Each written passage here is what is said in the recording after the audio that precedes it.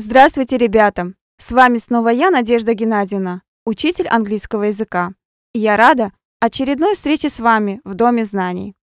Тема сегодняшнего вебинара – вредная пища. Hello, my dear friends! I welcome you in our school in the House of Knowledge. Today we will discuss the topic – unhealthy food. Let's start with the new words. Cure – излечивать, вылечить. Examine – осматривать. Habit – привычка. Hard – трудный, упорный. Lose – терять, проигрывать. Patient – пациент. Swallow – глотать. Weigh – весить, взвешивать. Weight – вес. Do one's best – стараться изо всех сил. Давайте переведем следующие предложения с новыми словами. Слово cure означает излечить. There is no medicine to cure this illness. Не существует лекарства, чтобы вылечить эту болезнь. Следующий пример. It took the doctor 10 minutes to examine the patient. У доктора ушло 10 минут на то, чтобы осмотреть пациента. All people should develop healthy habits. Все люди должны развивать здоровые привычки. Новое слово здесь – habit – привычка. It's hard to believe that we'll leave the city tomorrow. Hard означает не только трудный, но и наречие – трудно. Как же мы переведем это предложение? Трудно поверить, что завтра мы покидаем этот город. Глагол to lose – терять, неправильный. Его вторая и третья формы совпадают. Lost – lost. Например, Mike lost his job last year. Майк потерял работу в прошлом году. Следующее слово, ребята, глотать, to swallow. It is hard for him to swallow the tablet. Ему трудно проглотить таблетку. Ребята, а вот глагол weigh – взвешивать – это правильный глагол. Например, The shop assistant weighed the tomatoes for me. Продавщица взвесила помидоры для меня. She was happy to lose weight. Она была счастлива сбросить вес. И последнее выражение на сегодня – do one's best – стараться изо всех сил. I'm doing my best to be a good student. Как можно это перевести, ребята? Я стараюсь изо всех сил, чтобы быть хорошим студентом. Let's now talk about unhealthy food and why we should avoid it. Давайте теперь поговорим о вредной пище и о том, почему нам следует ее избегать. Many families today have busy schedules. У многих семей сегодня плотный график. This make it hard to sit down to homemade meals every day. Это затрудняет приготовление ежедневной домашней еды. Many kids' diets involve a lot of junk food that can be unhealthy. Дети часто употребляют много пищи, которая может быть вредна для здоровья. Unhealthy eating causes illnesses that can continue into adulthood. They can even develop into lifelong diseases. Нездоровое питание вызывает болезни, которые могут продолжаться в зрелом возрасте. Они могут даже перерасти в хронические заболевания.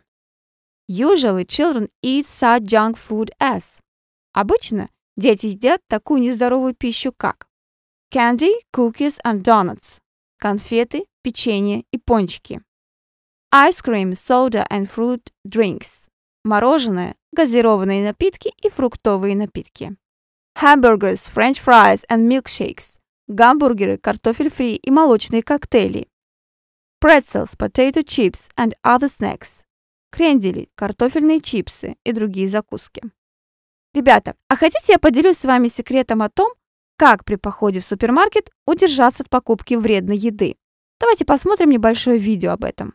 Here are five healthy shopping tips good for your family and your budget. Tip number one Don't go shopping when you're hungry. Have a light snack before you go, like an apple or a handful of nuts. Tip Number two, make a list so you know what you need. Tip number three, when choosing fruits and vegetables, get your children to help. Remember to fill your cart with a colorful rainbow of fruits and vegetables, such as broccoli, onions, carrots, cabbage, sweet potatoes, bananas, oranges, apples, and other favorites to make sure your family gets all the nutrients they need. And here's tip number four instead of buying a lot of red meat, choose more fish and chicken. Buy regular milk and plain yogurt, not fruit yogurt, which has a lot of sugar. Add your very own fruit on top. By following these healthy shopping tips, your family and your wallet will thank you. Now let's go home and cook a healthy meal. Итак, ребята, теперь мы точно знаем, что нужно составить список продуктов, прежде чем идти в магазин и не идти туда на голодный желудок. У вас может возникнуть вопрос. С вредной пищей все понятно. А что нам даст здоровое питание? Healthy eating has many benefits for children. It can. Здоровое питание имеет много преимуществ для детей. Оно может stabilize the energy, стабилизировать энергию, improve your mind and mood, улучшить ваш разум и настроение, help you maintain a healthy weight, помочь вам поддерживать здоровый вес.